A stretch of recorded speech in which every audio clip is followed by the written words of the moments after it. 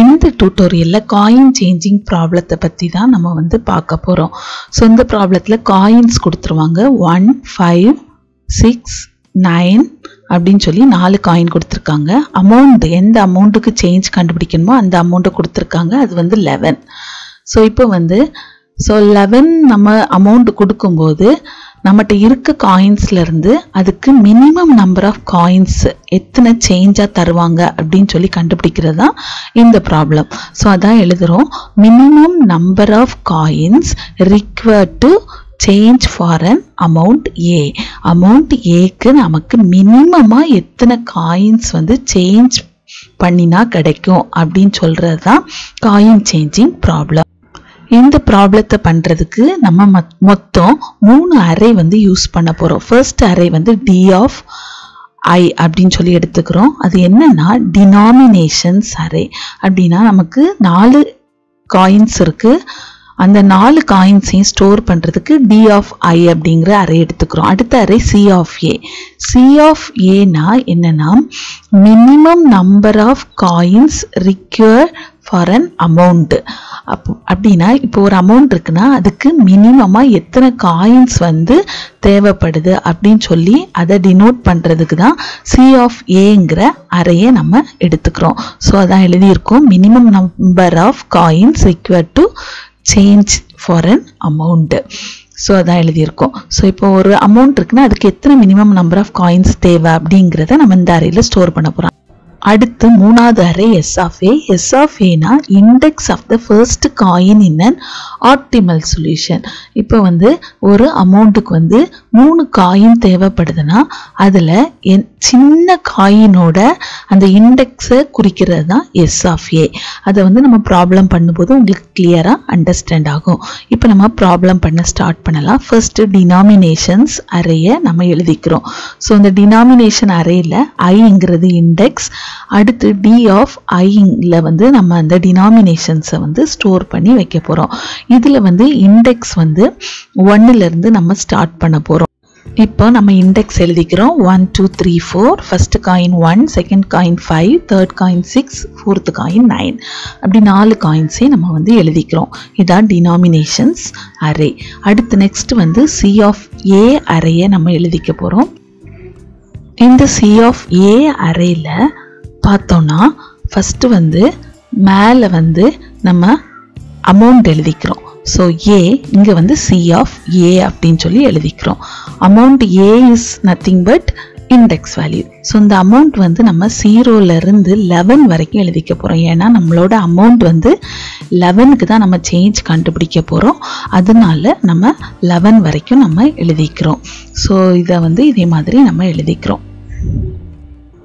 இப்போ C of ஏனா என்னன்னா ஏற்கனவே நம்ம பார்த்தது பார்த்ததுபடி minimum number of coins require to change the amount A first வந்து ஜீரோக்கு எத்தனை காயின்னா ஜீரோ ஒன்றுக்கு பாருங்கள் ஒரே ஒரு காயின் தான் தேவை. அதனால் ஒன்று எழுதியிருக்கோம். டூக்கு பாருங்கள் டூக்கு வந்து ரெண்டு ஒன் ருபி காயின் தேவை. பாருங்க நமக்கு டூ டினாமினேஷன் இல்லை. அதனால ரெண்டு ஒன் ருபி காயின் அதனால் டூ எழுதுகிறோம் இப்போ த்ரீக்கு மூணு ஒன் ருப்பி காயின் தேவை. ஏன்னா நமக்கு அது டினாமினேஷன் இல்லை. அடுத்து ஃபோருக்கு பாருங்கள் ஃபோருக்கு நாலு ஒன் ருப்பி காயின் ஃபைவ்க்கு இருக்குது ஒரே ஒரு காயின் தேவை. சிக்ஸுக்கும் ஒரே ஒரு காயின் செவனுக்கு பாருங்கள் ஒரு சிக்ஸ் ருப்பி காயினும் ஒரு ஒன் ருப்பி காயினும் நமக்கு மினிமம் நம்பர் தான் தேவை. அதனால் six rupee coin one rupee coin ரெண்டு. அதே மாதிரி எட்டுக்கு ஒரு சிக்ஸ் ருப்பி காயின் ரெண்டு ஒன் ருப்பி காயின் நயனுக்கு ஒரு காயின் இருக்கு அதனால ஒன்று இப்போ டென்னுக்கு ஒரு நயன் ருபி காயின் ஒரு ஒன் ருபி காயின் அதனால ரெண்டு எழுதியிருக்கோம். லெவனுக்கு ஒரு நயன் ருபி காயின் ரெண்டு ஒன் ருபி காயின் அதனால மூணு எழுதியிருக்கோம். இப்போ மினிமம் காயின்ஸ் நமக்கு எவ்வளவு தேவைப்படுதுன்னா லெவன்கிற அமௌண்ட்டுக்கு சேஞ்ச் எடுக்கிறதுக்கு மினிமமாக மூணு காயின் நமக்கு தேவைப்படுது. அதான் டோட்டலாக நமக்கு மூணு காயின் வந்து ரிக்வயர்டு ஸோ இதில் இப்போ அந்த மூணு காயினும் என்னென்ன காயின்ஸ் அப்படின்னு சொல்லி நம்ம வந்து கண்டுபிடிக்கணும் அதான் அடுத்த ஸ்டெப்பு ஸோ இந்த சி ஆஃப் ஏ அறையிலிருந்து நமக்கு எத்தனை காயின் பதினோரு ரூபாய்க்கு எடுக்க முடியும் அப்படின்னு சொல்லி கண்டுபிடிக்கிறோம். அடுத்து எஸ் ஆஃப் ஏ அறையில் வச்சு நம்ம வந்து என்னென்ன காயின்ஸ்லாம் நமக்கு தே அந்த மூணு காயின்ஸும் என்னென்ன அப்படின்னு சொல்லி கண்டுபிடிக்கிறது தான் அதுக்கு தான் நம்ம எஸ் ஆஃப் ஏங்கிற அறையை நம்ம எழுதிக்க போகிறோம் ஸோ சாரி இதில் டி ஆஃப் ஏன்னு எழுதியிருக்கேன். ஆக்சுவலாக அது எஸ் ஆஃப் ஏ வரும். ஸோ இதுலேயே நம்ம இண்டெக்ஸ் வேல்யூ ஜீரோலேருந்து லெவன் வரைக்கும் எழுதியிருக்கோம். ஏன்னா நம்மளோட அமௌண்ட் வந்து லெவன் அதனால நம்ம லெவன் வரைக்கும் நம்ம எழுதியிருக்கோம். இப்போ இந்த அறையில் நம்ம எல்லாத்தையும் ஃபில் பண்ண போகிறோம் ஜீரோவுக்கு வந்து ஜீரோ தான்.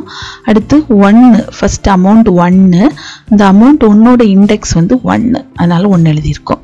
ஸோ அடுத்த அமௌண்ட் டூ டூக்கும் ரெண்டு ஒன் ரூபி காயின் அதில் ஒன் ரூபி காயினோட இண்டெக்ஸ் ஒன் எழுதியிருக்கோம். மூணுக்கும் மூணு ஒன் ரூபி அதனால் ஒன் ரூபியோட இண்டெக்ஸ் ஒன் எழுதியிருக்கோம். நாலுக்கு நாலு ஒன் ரூபி ஒன் ரூபியோட இண்டெக்ஸ் எழுதியிருக்கோம். இப்போ அஞ்சுக்கு பாருங்க. அஞ்சுக்கு ஒரே ஒரு காயின் தான் அதனோட இண்டெக்ஸ் டூ அந்த டூ எழுதியிருக்கோம். ஆறுக்கும் ஒரே ஒரு காயின் தான் அதனால இண்டெக்ஸ் த்ரீ எழுதியிருக்கோம்.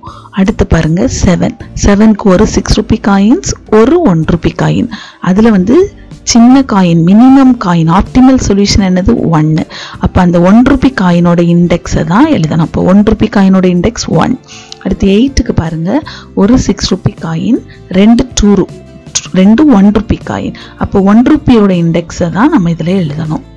அடுத்து நெக்ஸ்ட் நயன் நயனோட இண்டெக்ஸ் வந்து ஃபோர் நயனுக்கு ஏற்கனவே காயின் இருக்குது அதனோட இண்டெக்ஸ் ஃபோர் எழுதியிருக்கோம். அடுத்து டென்னுக்கு ஒரு நைன் ருபி காயின் ஒரு ஒன் ருபி காயின் அப்போ ஒன் ருபி காயினோட இண்டெக்ஸ் தான் எழுதணும். அடுத்து லெவனுக்கு ஒரு நைன் ருபி காயின் ரெண்டு ஒன் ருபி காயின் அதனால் ஒன் ருப்பியோட இண்டெக்ஸ் ஏன்னா அது ஆப்டிமல் சொல்யூஷன் நயனோட இண்டெக்ஸ் எழுதக்கூடாது. சின்ன காயினோட இண்டெக்ஸை தான் நம்ம வந்து எழுதணும். அதான் ஒன்னோட இண்டெக்ஸை நம்ம எழுதியிருக்கோம். ஸோ அடுத்து வந்து இப்போ நம்ம என்னென்ன காயின்ஸ் அப்படின்னு சொல்லி நம்ம வந்து பார்க்க போகிறோம் ஸோ நமக்கு சேஞ்ச் பண்ணக்கூடிய அமௌண்ட் வந்து eleven so first A is equal to eleven எழுதியிருக்கோம்.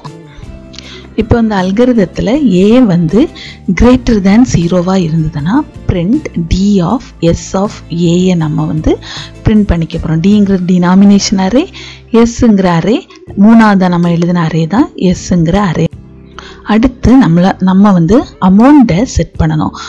Set A is equal to A minus D of S of A நம்ம இப்போ கண்டுபிடிச்ச D of S of A வேல்யூவை ஏலேருந்து சப்ட்ராக்ட் பண்ணி நெக்ஸ்ட்டு வந்து ஏ அமௌண்ட்டுங்கிறத அதுக்கு செட் பண்ணணும்.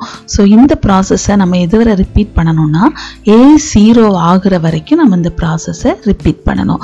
ஸோ இப்போ வந்து நம்ம மூணு காயின்ஸ் என்னென்னு சொல் சொல்லி இந்த அல்கரிதத்தை வச்சு நம்ம வந்து பார்க்க போகிறோம் ஃபஸ்ட்டு அமௌண்ட் ஏ ஏ வந்து லெவன் எழுதியிருக்கோம். ஸோ லெவன் கிரேட்டர் தேன் ஜீரோவா அப்படின்னு சொல்லி பார்க்குறோம். லெவன் கிரேட்டர் தென் ஜீரோ தான்.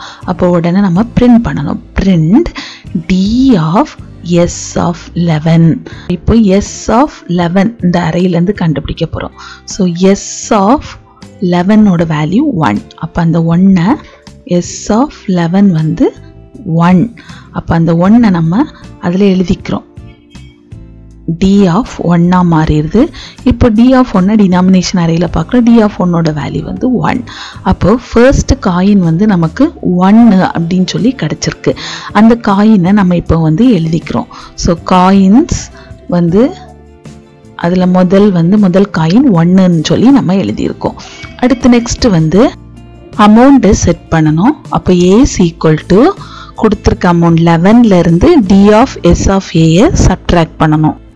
அப்போ eleven minus D of S of A வந்து நம்ம ஏற்கனவே கண்டுபிடிச்சு வச்சுருக்கோம் one so is equal to ten so இப்போ வந்து நமக்கு அமௌண்ட் வந்து டென்னு சொல்லி நமக்கு கிடச்சிருச்சு இப்போ சேம் ப்ராசஸை மறுபடியும் ரிப்பீட் பண்ணணும்.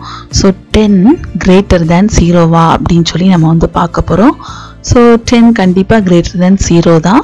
அப்போ ஜீரோவாக இருந்ததுன்னா நம்ம என்ன பண்ணணும்? Print D of S of ஏயை பண்ணணும். ஸோ இப்போ எழுதிக்கிறோம்.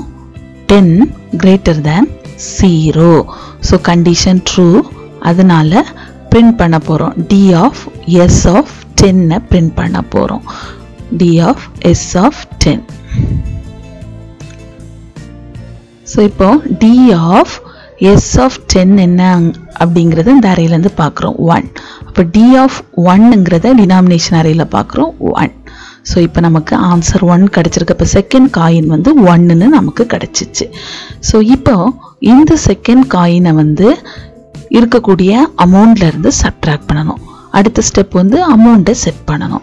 ஸோ இப்போ நமக்கு ப்ரெசண்ட் அமௌண்ட் வந்து ஏ வந்து டென் அப்போ அந்த டென்னிலிருந்து B of S of ten நமக்கு என்ன கிடச்சிருக்குன்னா ஒன் அப்போ அந்த டென்னிலேருந்து ஒன்னை சப்ட்ராக்ட் பண்ண போகிறோம் அப்போ நமக்கு என்ன கிடைக்கும்னா நயன் கிடைக்கும். ஸோ இப்போ பாருங்கள் டென்னிலேருந்து ஒன்றை சப்ட்ராக்ட் பண்ணால் நமக்கு நைன் கிடச்சிருக்கு. இப்போ அமௌண்ட் வந்து நைன்னு செட் பண்ணியிருக்கோம். ஸோ இப்போ அடுத்த தேர்ட் ஸ்டெப் வந்து நைன் கிரேட்டர் தென் ஜீரோவான்னு பார்க்குறோம். கண்டிஷன் ட்ரூ அதனால் print of S D of S of நைனை பண்ண போகிறோம் ஸோ இப்போ பாருங்கள் எஸ் ஆஃப் நைன்ங்கிறத இந்த அறையிலேருந்து எடுத்துக்கிறோம் நாலு. அப்போ டி ஆஃப் ஃபோர் ஸோ இப்போ டி ஆஃப் ஃபோர்ங்கிறத டினாமினேஷன் அறையில் பார்த்தீங்கன்னா நமக்கு நயன் கிடைக்குது. ஸோ அப்போ தேர்ட் காயின் வந்து நமக்கு நயன் கிடச்சிருக்கு. அப்போ ஏற்கனவே ரெண்டு காயின் கண்டுபிடிச்சி வச்சுருக்கோம். ஒன் ஒன் இப்போ நயன் எழுதிக்கிறோம். ஸோ இப்போ வந்து மூணு காயின்ஸ் கிடச்சிருக்கு. அடுத்து அமௌண்ட்டை செட் பண்ணணும். இப்போது நமக்கு ஏற்கனவே லாஸ்ட்டாக செட் பண்ண அமௌண்ட் வந்து நைன் நைன் மைனஸ் இப்போ D of S of nine வந்து நைன் கிடச்சிது. அந்த நைனை போட்டோம்னா நைன் மைனஸ் நைன் ஜீரோ கிடச்சிருது. ஸோ ஜீரோ வந்துச்சுன்னா நம்ம ப்ராசஸை ஸ்டாப் பண்ணிடலாம் நமக்கும் மூணு காயின்ஸ் கிடச்சிருக்கு. ஸோ அந்த coin என்னலான்னா one comma one comma nine so இப்போ நமக்கு minimum coins required for the amount eleven is three அது என்னென்ன காயின்னா ஒன் ஒன் நைன்